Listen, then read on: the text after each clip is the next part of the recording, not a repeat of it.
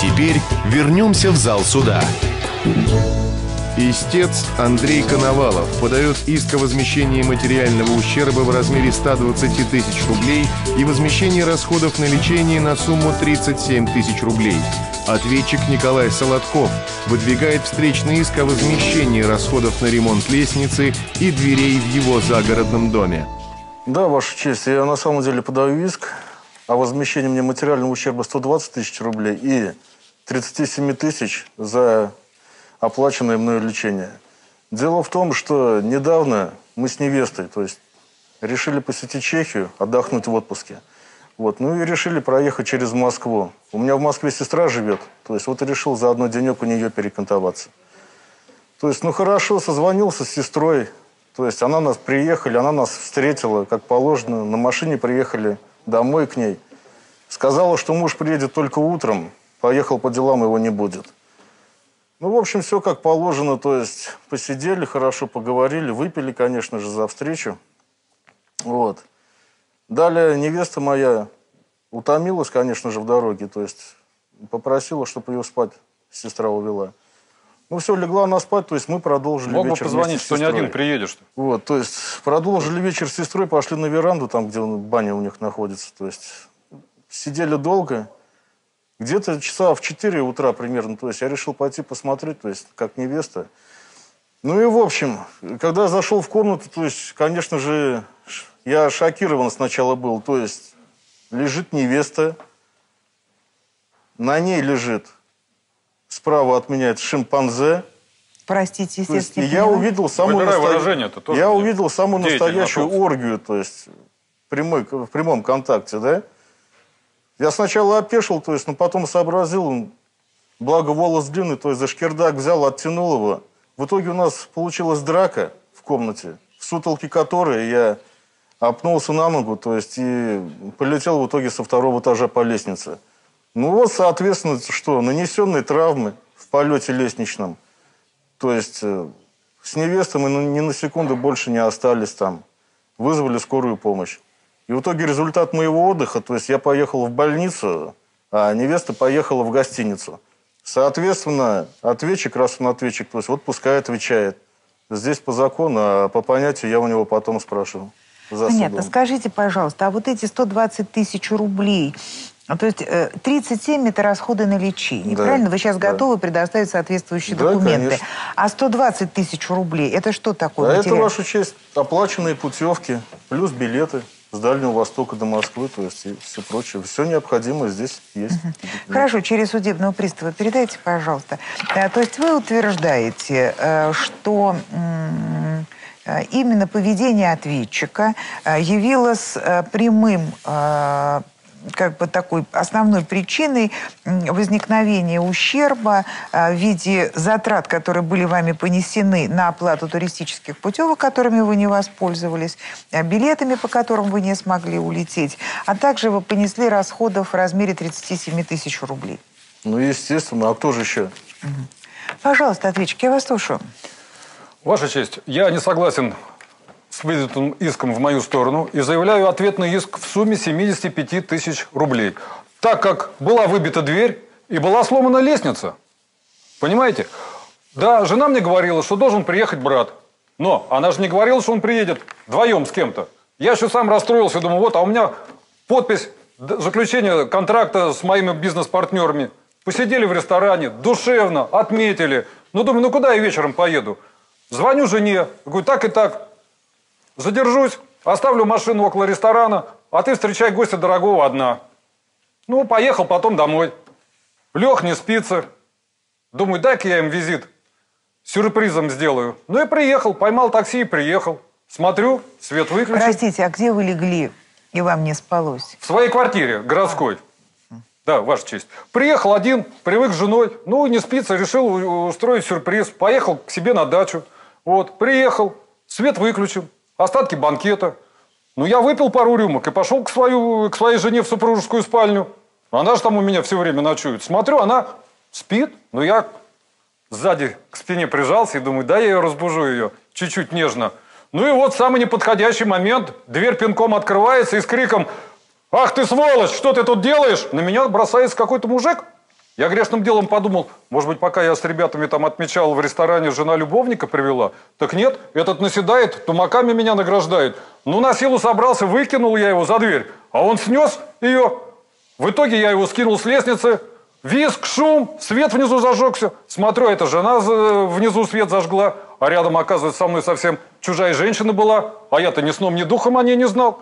Поэтому и получается, что, ответч... э, что брат жены нанес мне материальный ущерб. Вот у меня здесь есть смета на замену лестницы и подбор, свет, замену двери. Так, передайте, пожалуйста, через судебного пристава. То есть 75 тысяч рублей. 75. Вы согласны с ними или вы возражаете? Ну, то, что там действительно снесена дверь, то есть, конечно же, это на самом деле так. То есть, но, в принципе, факта спровоцирования было с его стороны. Я думаю, с его жены. Это Она могла интересно. бы и не участвовать. Интересно просто, как так? Слушай, а если бы я тебя с бабой перепутал, то есть... Ну, при чем Это здесь вот, меня? э, Сейчас разговор-то о твоей, как бы, так называемой невесте идет. Так, вы просили свидетелей, истец, да? Да. Да, пригласите, пожалуйста, в зал свидетелей истца. Свидетель истца, пройдите.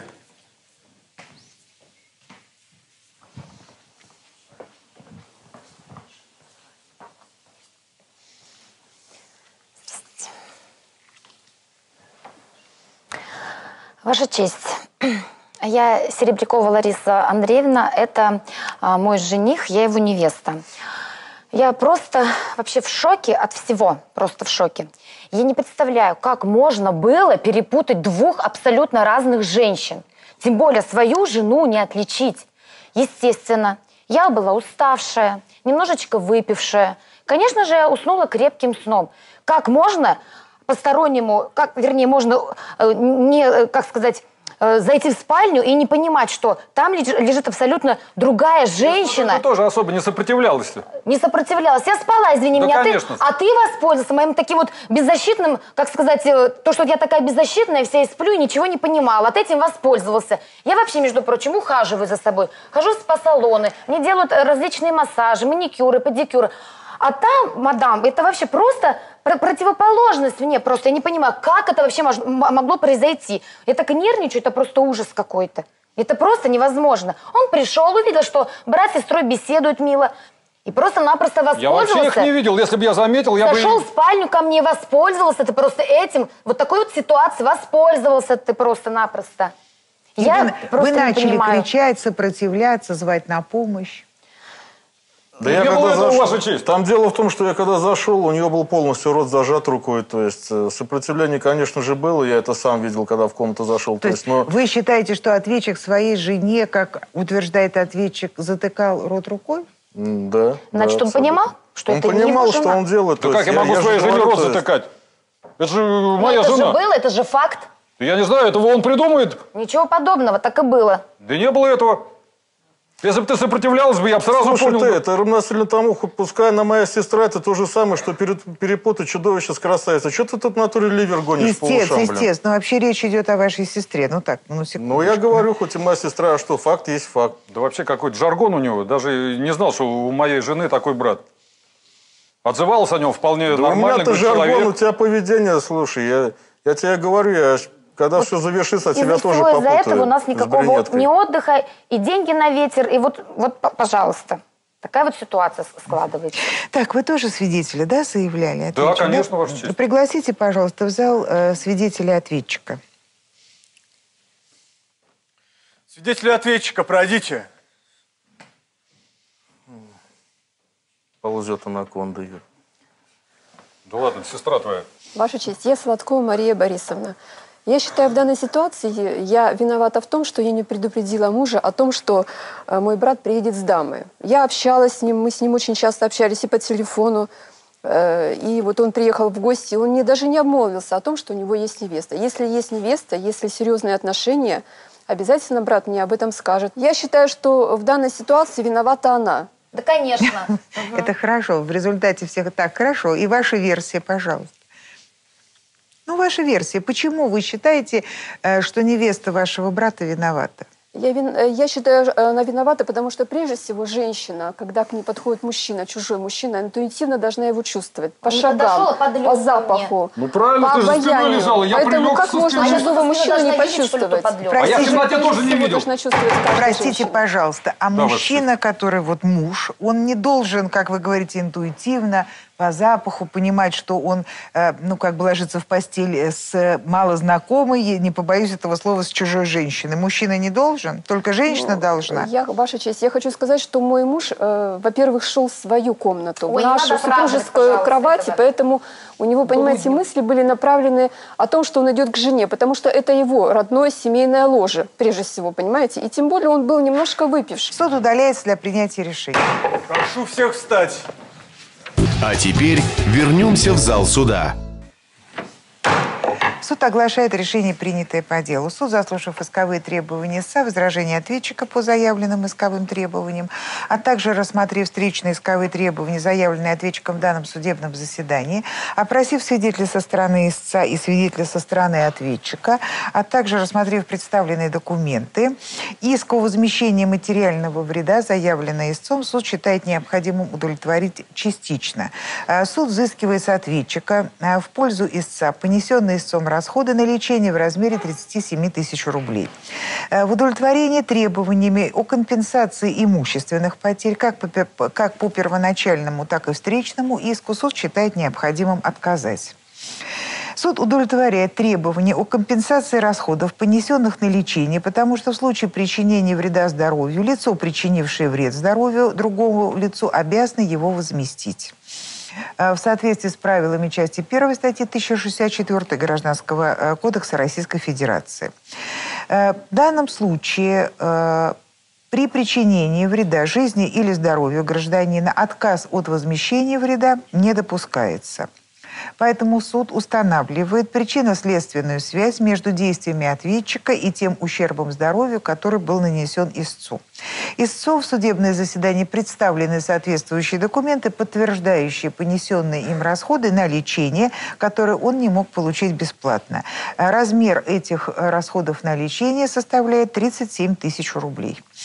Суд отказывает каждой из сторон в удовлетворении заявленных друг другу требований имущественного ха- характера, как о компенсации стоимости авиабилетов, туристических путевок, проживания в гостинице, так и в компенсации стоимости восстановительного ремонта в загородном доме, потому что суд пришел к выводу, э, что в произошедшем есть вина а, обеих сторон в виде проявленной грубой неосторожности.